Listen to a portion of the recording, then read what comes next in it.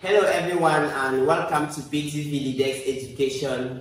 In this uh, very interesting lesson or session, we are going to be answering some questions in advanced level physics June 2023. And we are going to begin with question 4 of paper 2, which was on simple harmonic motion.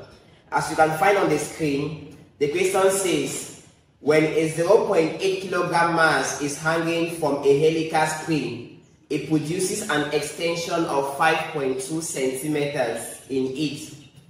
The object is then suspended from two such identical springs as shown in figure 1.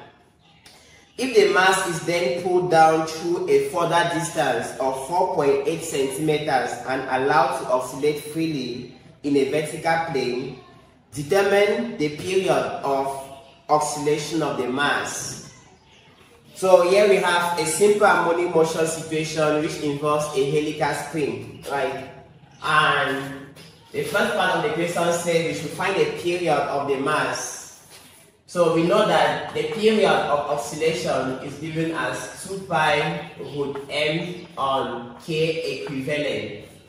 K equivalent here is the equivalent spring constant of the two springs the two springs clearly on the figure are in parallel, right? And what is the expression for K equivalent? When springs are in parallel, they produce the same extension.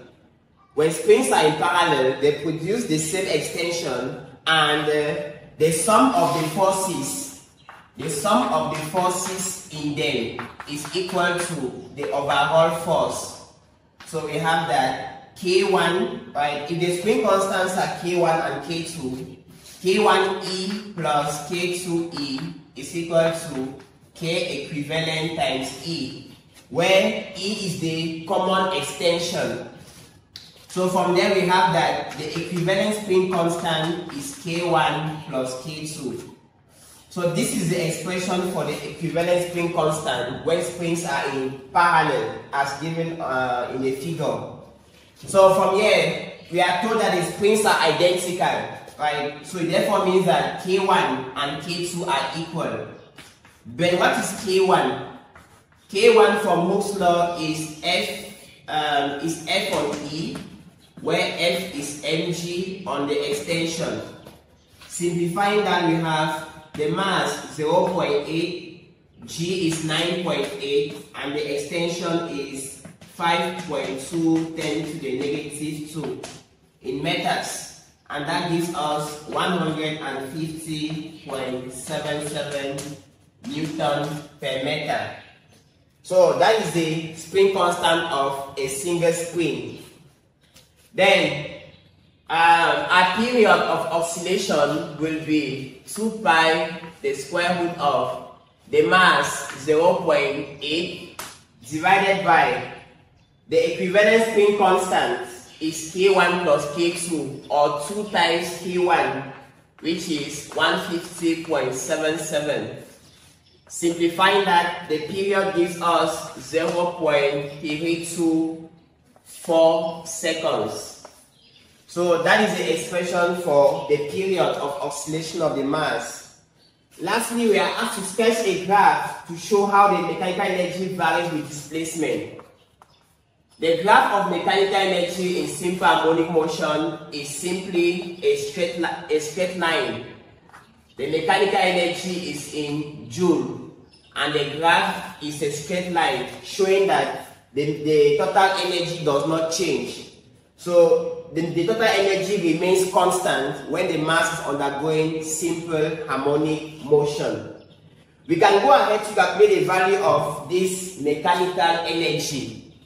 So if we are asked the, the total energy, total energy or mechanical energy is given as a half m omega square a square, where omega is 2 pi all over the period. So if we put here, we have 2 times the mass 0.8 omega 2 pi all over the period 0.324 all square. The amplitude the amplitude normally is the further distance by which the mass was pulled.